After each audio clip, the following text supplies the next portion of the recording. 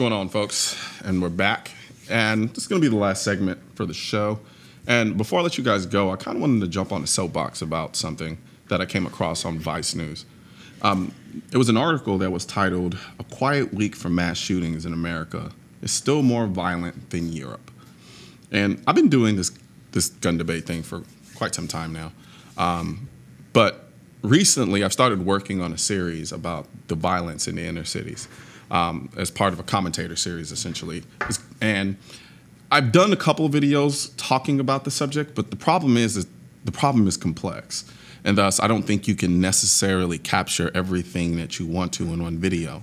So I decided to do a video series about it. So um, take a look at this clip just to kind of get an idea of what this journey is going to feel like.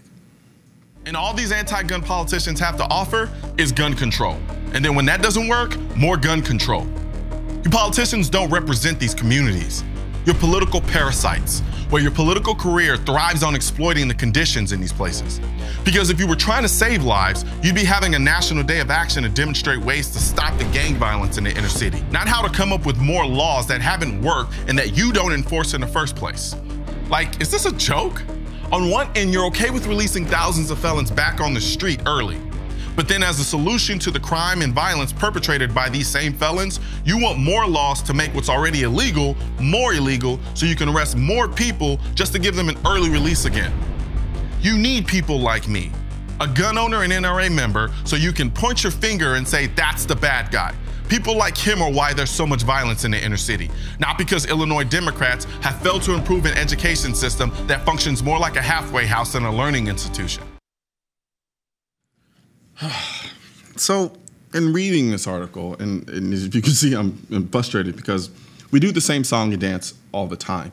Um, they love, and when I say they, I mean anti-gunners and people who are proponents or pushing for gun control on our political scene, and and the media as well they love love to push this narrative where they compare us to other countries, um, especially Europe, as if Europe is this shining shining beacon of what we're supposed to be as a country. And in this article, you have this individual by the name of Mark Hay who analogizes our our mass shootings in our country and compares them to the ones in Europe, and then basically says, um, even in our best day, it's four times worse than what happens in Europe. And, and in his discussion of the mass shootings that happened in this country, I noticed something in particular that was interesting. He started lumping a lot of what we consider to be gang violence that typically take place in our inner cities as mass shootings. And for some people, they can see that as not necessarily being a problem because they say, well, what, what's the big deal? We, uh, if, if, it's a mass shooting that takes place at a school or takes place at um, uh, at a shopping mall or mall something that, of that sort. What's the difference between that happening there and and the, and then the, the scores of shootings that happen in the inner cities? Um, and there, and I have to say, there's a huge difference between mass shootings, as we stereotypically understand them to be, and gang violence. And when you talk about mass shootings, the reason why people are so terrified about mass shootings is because mass shootings are inherent. You, you can't plan them. They're random and you, you can't really control them. You can't brace for them. Think about them, they're like tornadoes. Um, you don't see them coming until they're there. And then they usually happen in places where you don't expect them to happen, as opposed to gang violence, which actually follows a basic pattern um, that's uh, relegate that that that is um, a result of a particular set of circumstances in an environment we know where most of the gang violence takes place because they usually happen in places where there's a, a, a lack of, um, where there's abject poverty. The education system is garbage in many of these places. Um, there's there's a lack of opportunity, and then there's just a, there's a cycle that perpetuates a certain percentage of the population in these places to engage in this violence. We know where they are. We know where it happens. We know who the people who are doing these are. So no, they're not the same as mass as mass shootings. They're totally different because the circumstances are different. So I've been doing this for some time now, and and I remember when I first started doing it, they would throw this this statistic that 30,000 people, 30,000 people die every year from gun violence. And it was deceptive. And it was deceptive because they didn't give you the whole picture. To somebody who didn't follow the conversation, they hear that statistic and it's startling. It's a lot of people. That wasn't until we exposed it. and let them know that, wait a minute now, of that 30,000, over 60% of those are suicides. And not that suicides don't matter, but when we put things into perspective, when we start wanting to compare ourselves to Europe and other countries, our suicide rate per capita is pretty much on par with every other country out there, especially Europe. So it begs the question are guns really the problem when we still have the same suicide problem that Europe has and they don't have the number of guns that we have? So then, on top of that, what you have left from that is mass shootings. And mass shootings may account for almost a, a statistical zero in terms of representing the number of people killed by guns every year in this country. So, what are you left with? You're then left with accidents. That's about 5%. And of that 5%, I honestly believe with just the right education, just educating people on firearm safety, that alone would cut that number in half. So the remaining number of, of gun deaths in this country that we have are actual homicides. And uh, unfortunately, a vast majority of those happen in what I call the inner city. Um, not that everybody in the inner city is engaging in this violence. The funny thing about it is when we start talking about places like Chicago, it's not even all of Chicago that's this violent. And then it's, it's, very specific places in Chicago that result in this violence. But then even then, even in these inner city communities, it's only a very small percentage of the people in these communities who are engaging in most of the violence in these communities. Because most of the people there are good people. They're just not wealthy. It's the only difference. So I, I, find it almost disgusting now that now that they've been exposed and we demonstrated that this 30,000 deaths every year from gun violence statistic was misleading, now they want to start incorporating the deaths that are happening from the inner city and throwing those into, in, into the stats as well.